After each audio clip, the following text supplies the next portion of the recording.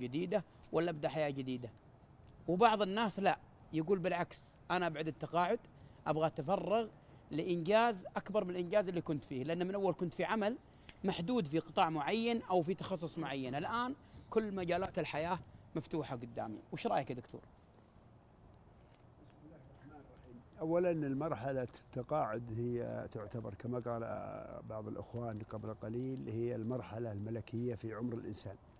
الملكية الملكية إذا ما استغلت بالاستغلال الصحيح طبعا إذا ما إذا ما استغلت في كما قلت مواضيع أخرى هذه آه، دائما وابدا الأخ الكريم المتقاعد وأنا منهم يتساءلون بيقولون بعد التقاعد وين نروح؟ وش نسوي؟ وش نزين؟ وحنا خلاص انتهينا، حنا قضينا، حنا ما عاد أحد يحاسينا، حنا ما عاد يبينا. اولا يجب الإنسان إنه حينما يخطط لمرحلة حياته كلها يضع أيضا مرحلة التقاعد من هذه المراحل. وإنها مرحلة يجب أنك تتأقلم معها وإنها مرحلة عادية. وقلنا أيضا إنها مرحلة ملكية، أما كيف أنك تستغل هذه المرحلة وكيف تصير وكيف هذا موضوع يحتاج إلى حقيقة حضرنا فيه محاضرات عديدة وكتبنا فيه، لكن لا يمنع من المرور والحديث. طيب إيش رأيك يا دكتور اسمح لي وقاطعتك، إيش رأيك إن نبتعد كلنا الآن عن عن الكلام النظري وناخذ تجاربكم. أخوي الدكتور صالح الحمد بعد التقاعد إيش سويت؟ والله يمكن أتحدث وأني أحد يقعد يقول بناخذ ارائهم حدث عن نفسه وكذا كذا. أنا بعد التقاعد انخرطت في التأليف. أنا عندي الآن يعني ولا التسويق مضبوط. كان يمكن وصلت إلى 25 كتاب بس التسويق ضعيف. ما شاء الله. فعندي 10 كتب مطبوعة. ما شاء الله. وفت ومن هذا المقام إن شاء الله نوريكم بعد فترة قليلة جدا كتاب بعنوان ابن بطوطة الزلفاوي. ونعم بمشيئه الله. هذا موضوع. موضوع التأليف ثم موضوع الكتابة ثم موضوع مساعدة المحاضرات في جميع الدوائر الحكومية وفي جميع الهيئات وفي جميع ذا.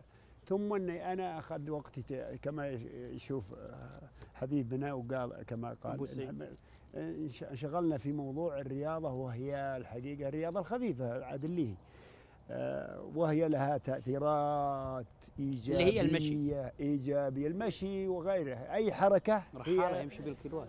هي أي حركة هي طبعا لها إيجابيات. ولكن كل هي قدرات طبعا. مثل واحد تقول له تعال أمشي ساعة يقول ما أقدر. وين هذا في ناس تمشي ست سبع ثمان ساعات.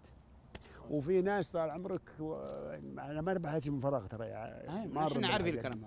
آه في ناس آه مثلا في الهايكنج وكذا يروحون ليالي وأيام ويصعدون ويجون وكذا. لكن ما ندعي هنا لهذا الكلام. ندعي الإنسان ان يتحرك بأي أسلوب يراه. وأخف حركة هي المشي. يمشي في اليوم نص ساعة. نص ساعة يا أخي. ما, ما تأخذ من وقتك. ولا تقعد توشوش في البيت وتهود وكذا وكذا. أنا وش أسوي وش أسوي؟ الإنسان طفوا اللمبة شغلوا الدينمو نعم. الإنسان له قدرات. في ناس يهوى الرحلات. في ناس يهوى السفر.